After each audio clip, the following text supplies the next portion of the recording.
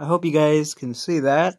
Um, that's my uh, free shirt that I got in Farm Fashions. I figured since we're all in self isolation, um, I figured um, I just found out that this shirt actually has a hole in it.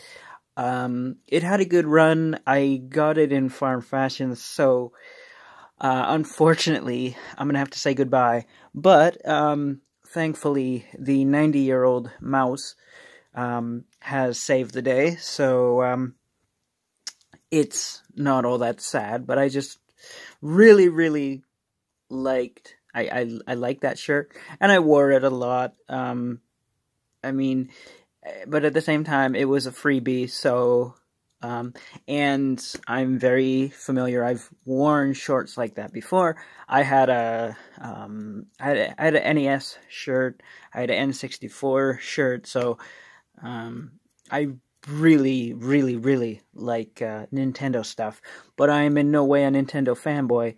But um, I just thought that um, I would sort of give my uh, my N64 shirt a proper sort of proper funeral.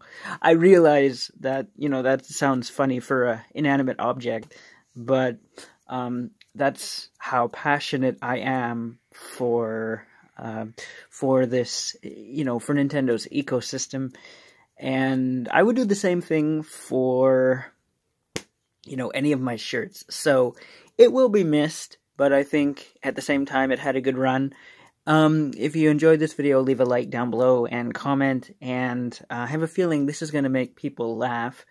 Um, I kind of was struggling with the camera angles, but I got it right.